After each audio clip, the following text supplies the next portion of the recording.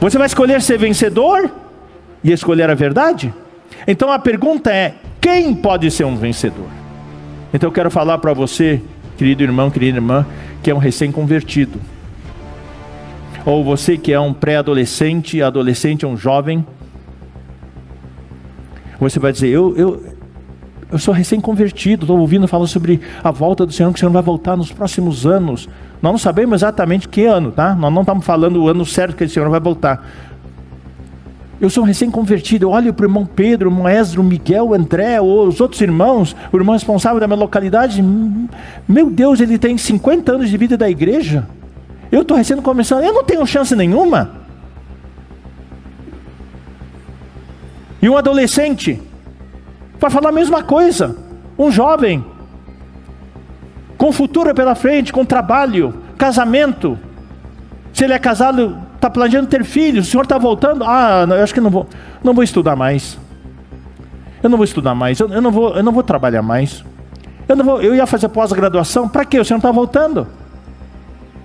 Eu ia ter uma oferta de um excelente trabalho, eu, eu vou fazer um trabalhinho de nada assim. Não, isso é um erro. A nossa vida tem que continuar normal. Dois estarão no campo, um será tomado e deixado o outro. Não fala que dois estarão parados ali, dois estarão numa reunião, dois estarão numa oração. Não, é no dia a dia que o Senhor nos faz amadurecer e nos faz e nos prova.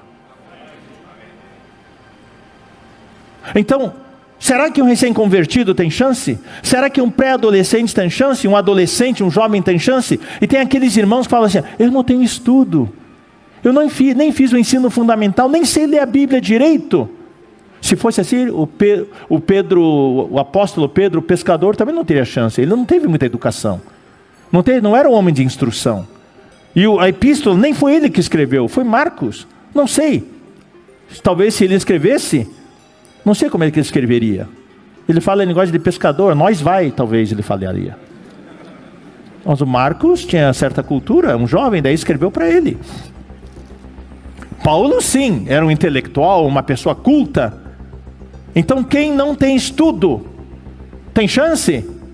Não sabe ler direito, tem chance? Eu conheço alguns irmãos que não têm estudo e exercitam o espírito. Eu recebo muito mais ajuda desses irmãos do que outros, alguns outros que têm muito estudo, cabeça muito grande, mas não exercitam o espírito. Então, o que nós vamos falar? Eu vou falar um pouquinho, irmãos. Eu vou tentar ser rápido. O irmão Pedro, no domingo passado, introduziu um novo conceito revolucionário, é uma nova luz. Eu não vou colocar aqui na lousa, ele provavelmente vai falar de novo, vou deixar para ele falar. Ele gosta de falar de diagrama, essas coisas, eu vou deixar para ele falar. Eu só vou dizer o seguinte: ele falou sobre estágio versus estado. Estágio tem a ver com a maturidade. Quanto você está maduro? Quando você se converte é 0%. Está começando. 10%, 30%, 70%, 100%. O irmão Dong, nos anos finais da sua vida, ele falou que ele não era 100% ainda. Paulo falou: Eu não cheguei lá ainda. Não que eu tenha já alcançado. Então qual é o padrão de Deus? Vamos dizer, será que é 80%? Eu estou nos 10%. Ih, o Senhor não está voltando. Esses irmãos levaram 50 anos para chegar nos 80%. Eu o senhor vai voltar dentro de 50 anos? Eu não tenho chance nenhuma. Será que é isso? Isso é estágio. Daí, irmão Pedro, eu, eu, eu vibrei, irmãos, eu vibrei, introduzi um novo conceito. O que Deus olha não é o seu estágio, é o seu estado, é o grau de avanço que você está tendo. Então, eu vou introduzir aqui oito pontos eu vou tentar bem rápido, bem rápido. Deus não olha o seu tempo de vida da igreja. Deus não olha o seu tempo de vida cristã. Deus olha para o seu grau, a sua velocidade, a sua tendência de avanço. Sabe o mercado financeiro, né? O mercado fechou em alta, fechou em baixa, fechou estável. Como é que está o seu avanço? Está em baixa? Está estável ou está em alta? Deus não olha até onde você atingiu. Deus olha se você está em alta. Se você está subindo, avançando, você é um vencedor. Mesmo que você só seja 5%, você é um vencedor, porque você a tendência sua é subir. Dado o tempo que você precisar, você vai chegar aos 80, 90 até 100%. Tá? Segundo, Deus não olha a sua é o primeiro ainda, na verdade. Deus não olha para o seu a sua maturidade, o quanto você amadureceu. Deus olha para o seu crescimento. A taxa de crescimento.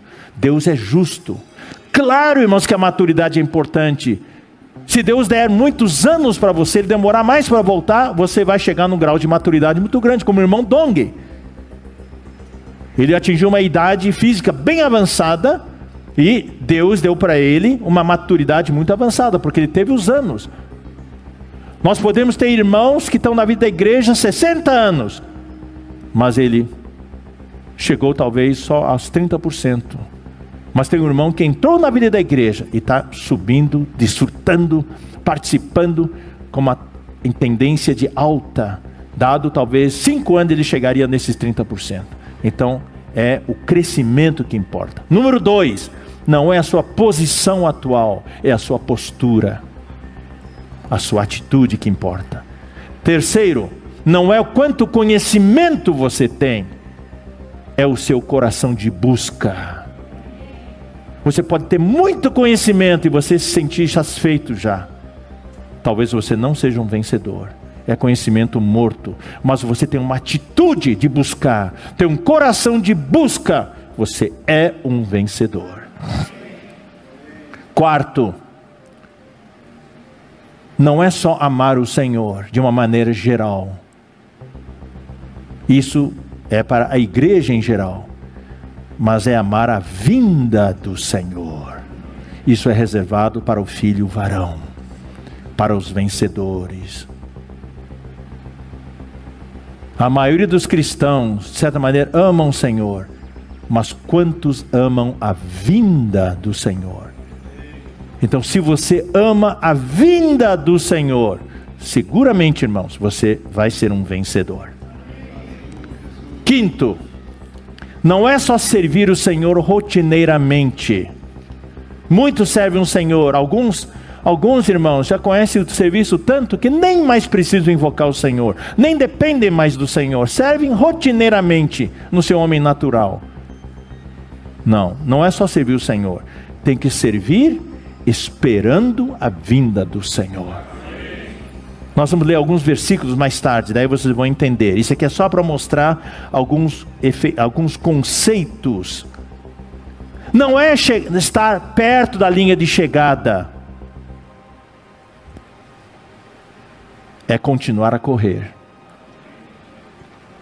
Você talvez diga assim: Ih, até eu chegar na linha chegada vai demorar demais, eu nunca vou chegar lá. Deus não vai olhar para isso. Quando Jesus voltar, Ele vai olhar se você está correndo. Se você ainda está correndo, você é um vencedor. Não importa se você não chegou ainda, mas se você está correndo, você é um vencedor. Tem a parábola dos trabalhadores da vinha. Uh, daí o Senhor saiu para contratar trabalhadores da vinha. Na primeira hora contratou alguns, na terceira hora, na sexta hora, hora sexta, hora nona, depois na hora undécima. Hora undécima são cinco da tarde. Daí você é contratado na hora undécima. Você é um irmão novo, você é um jovem, você é um adolescente. Você olha, uh, aquele irmão está trabalhando desde as seis da manhã. Eu entrei às cinco da tarde. Eu não tenho chance. Não. A Bíblia fala nessa passagem que todos ganharam o mesmo galardão. Deus não olha quando que você foi contratado. Deus não olha quando que você veio para a vida da igreja. Se Deus te chamou, você respondeu e está servindo a Ele, você é um vencedor. Isso está em Mateus 20. E o último ponto, ponto 8 é: não é questão, Deus não olha se você está pronto. Quantos estão prontos? Quantos aqui podem dizer, eu estou pronto?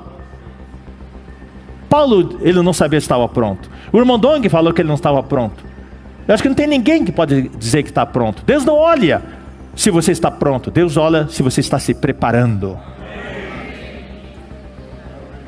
Você está se preparando? Se você está se preparando, você é um vencedor.